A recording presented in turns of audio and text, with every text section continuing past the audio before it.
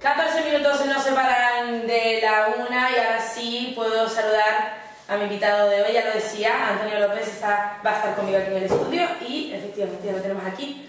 Antonio, que sepas que estos programas se, se cuelgan en nuestro canal de YouTube, así que saludamos también a todos los que nos van a ver. muy buenos días, muy buenas tardes, porque ya estamos en una hora... ¿Verdad? Buenas tardes, ¿no? Una hora bisagra, sí. Eh, y además con este calor que hace casi para que parece más más tarde, ¿no? Bueno, aquí estamos a gustito, Antonio, que tenemos el aire acondicionado y está bien, ¿verdad? Pero el vecindario me decías que hacía mucho calor. Sí, sí, sí, sí. El, sabes que abajo, afortunadamente, el viento eh, nos, para un poquito la, temperatura, nos, nos, baja unos grados la temperatura que, que, tendríamos si no tuviéramos el viento. Pero eh, en estos días, cuando sube tanto la temperatura, incluso el aire se vuelve caliente. Bueno, la verdad es que me está asustando un poquillo, ¿eh, Antonio? Porque mañana vamos a estar toda la tarde retransmitiendo en directo en el Colorful Night en la Avenida de Canarias y vamos a tenemos una serie de entrevistas, vamos a hablar con los comerciantes y vamos a pasar una tarde muy agradable. Espero que no haga mucho calor, sino siempre con una botellita de agua fresquita y algo refresquito, ¿verdad? Sí, es cierto. las previsiones meteorológicas es que el día más fuerte que íbamos a tener era el de, el de hoy. Ah, Mañana probablemente va a ser un, día de, no tanto calor, vamos a llamar así. Me tranquiliza, me tranquiliza. Aunque a mí me encanta el calor, ¿qué quieres que te diga, Antonio? Me gusta. Yo soy, de, yo soy de verano.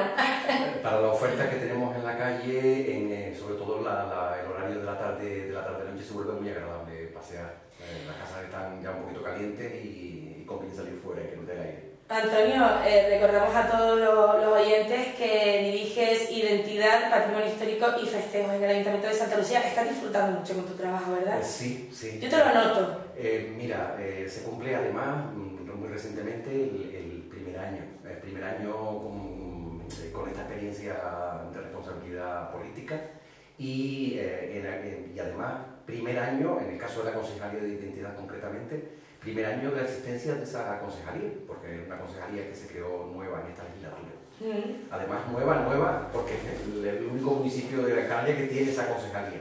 De forma que el grado de responsabilidad era importante. Estamos trabajando en crear unos cimientos eh, fuertes para que eh, tenga futuro. Y la verdad es que la, la, sensación está del primer año de... El balance que hace...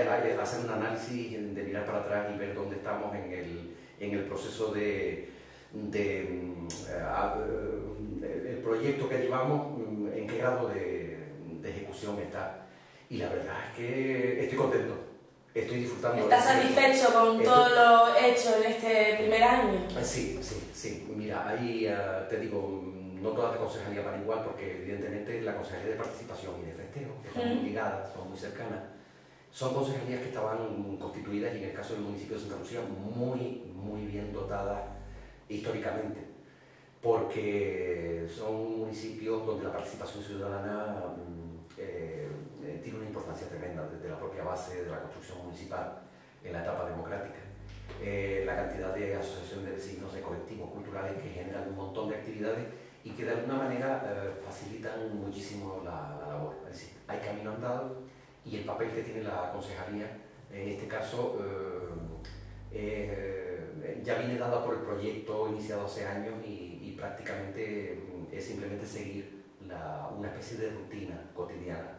Eh, la, parte de festejo, todas las fiestas del municipio de Santa Lucía, que son en total 21, 21 fiestas, de mm, unas más importantes que otras, hay eh, San, Rafael, por ejemplo, o Santa Lucía, son digamos que las, fiestas que más nos proyectan hacia el exterior, incluso esas tienen comisiones de ciudadanos, de vecinos y vecinas que eh, durante un tiempo dedican parte de su, mm, de su espacio para, para, trabajar para la comunidad y organizarla. De forma que eh, la, la, presencia mm, de la concejalía o del concejal en este caso no es tan, eh, no es tan importante.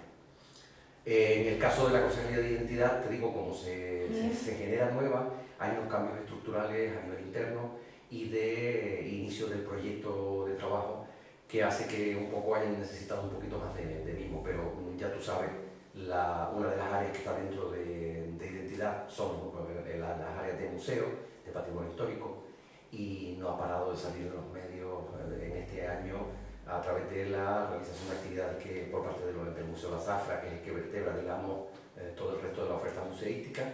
Hemos estado también con mucha presencia mediática con todo lo que tiene que ver con la arqueología, porque hemos tenido... Por esos hallazgos, ¿verdad? Eh, sí, sí, sí. Hallazgos que en el fondo lo que hay detrás es un trabajo organizado, perspectivas de crecimiento y de dedicar tiempo a lo que... Sí, que no apareció de la nada, no es, ay, me encontré 20 euros. Eh, sí, sí, sí. Y ha sido un año, un año importante para, para el patrimonio histórico municipal.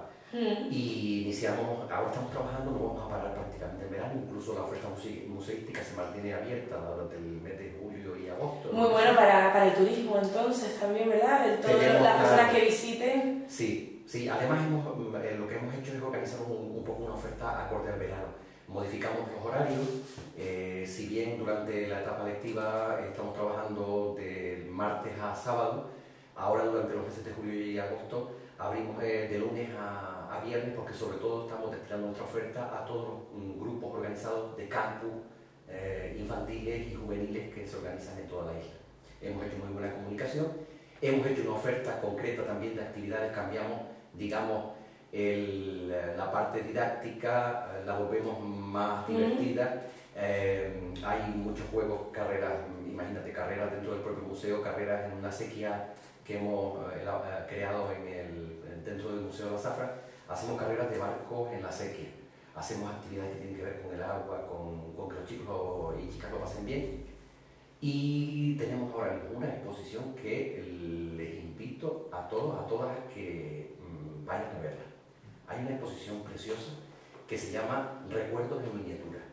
Es eh, producto de una miniaturista, de una artista del Castillo del Romeral, Pino García, que hace, ha hecho verdaderas maravillas, ha hecho como eh, reta- retablos tradicionales. Eh, les pongo un ejemplo, las cajitas estas de vino de madera, Mm. donde suelen venir tres botellas, Sí, eh, en esas cajitas dentro ha creado, por ejemplo, una tienda de aceite y vinagre. Ha creado, por ejemplo, una escuela antigua en miniatura, con todos los detalles, con todos los elementos, eh, y es muy, muy atractiva para todo el público. La idea es visitar el museo en verano eh, en familia. Eh, la exposición ayuda mm, a, a que el Museo La Zafra sea más atractivo con una novedad que, que hace que incluso aquellos que ya conocen el museo y que han estado eh, vuelvan a visitarlo.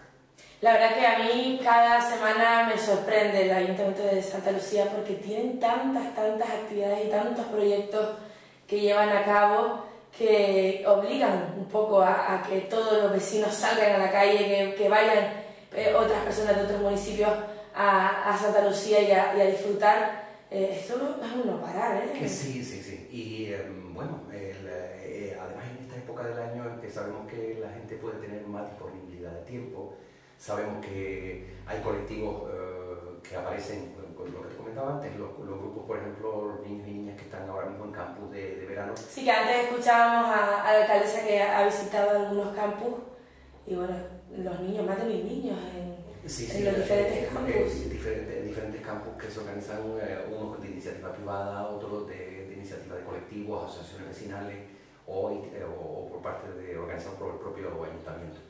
Eh, estamos hablando de mucha cantidad de niños y niñas y un poco lo que intentamos es apoyar la oferta de las herramientas municipales, eh, apoyar esta, estos servicios, eh, adecuárselos para que ellos puedan hacer uso de- de las instalaciones.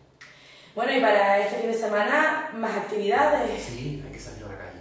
Estamos eh, en vísperas del, del Día del Carmen. Eh, ho- hoy día 15, mañana día 16, día de, de los Carmelos y las Carmelas, de, los, de las Cármenes. Y en el pueblo costero de Pozo Izquierdo celebramos eh, el, Día del Carmen. Es una, una fiesta muy, muy, de, muy de pueblo. eh, con la peculiaridad porque la- las fiestas de, de los pueblos de, de costa eh, suelen hacer mm, eh, eh, lo que es el recorrido de la Virgen eh, en la procesión, eh, mm, se acerca hasta Barranquillo la Virgen y, y, es- están todas las marcas de los pescadores, es muy pintoresca, muy, muy bonita. La noche fuerte de la fiesta durante, el, a durante este viernes y, y sábado van a haber muchas actividades deportivas y actividades dedicadas al público familiar en horarios de tarde-noche. Mm. Y el mañana sábado vamos a tener la oportunidad, es la noche fuerte, digamos, de la fiesta, y vamos a tener la oportunidad de... Una cara conocida por ahí sí, mía, ¿eh? Sí, sí, a partir de la tienda de rock vamos a tener la oportunidad de, de escuchar a los famosos... Full. Sí, históricos, voy a añadir también, Full Stop. Me contabas que los que los llegaste a ver, ¿no, Antonio? Sí, sí, sí, los había escuchado hace aproximadamente un año, hacía muy poco tiempo que ellos habían comenzado el proceso, el proceso de ensayo, eh, debían eh, llevar como tres meses y se les notaba. Sí, ¿no?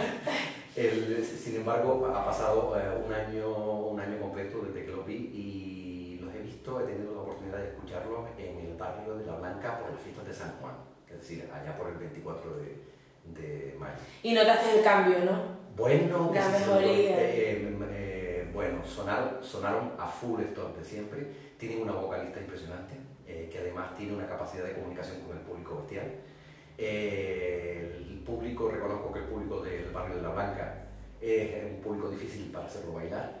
Y acabaron todos en la parte delantera del escenario saltando una pata sola. Se lo pasaron genial y yo estoy deseando que llegue el día de mañana para echarme la cabeza por fuera. Bueno, pues yo espero que a mí me dé tiempo de, después de, sé que terminaré sobre las 10, 11, de, de cuando terminemos de retransmitir desde la Avenida de Canarias, irme corriendo voz izquierda para disfrutar yo también de, tenemos full stop. exacto, tenemos eh, función doble porque después de terminar full stop tendremos la oportunidad también de escuchar eh, eh, tocando grandes éxitos también de los 80 y los 90 a Última Parada, que también suena muy bien.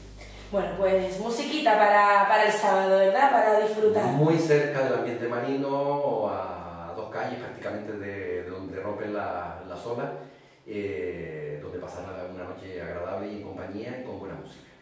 Antonio, vamos a hacer una pequeña parada para la publicidad, si te parece. Anoche, anoche yo estuve en la cofradía de Taliarte, en el muelle de, de Taliarte aquí en Telde, con esos hueves gastronómicos tapa más caña por dos euros. Eh, fue una locura, ¿eh? había muchísima gente, la música en directo, vamos, eh, muy buen ambiente.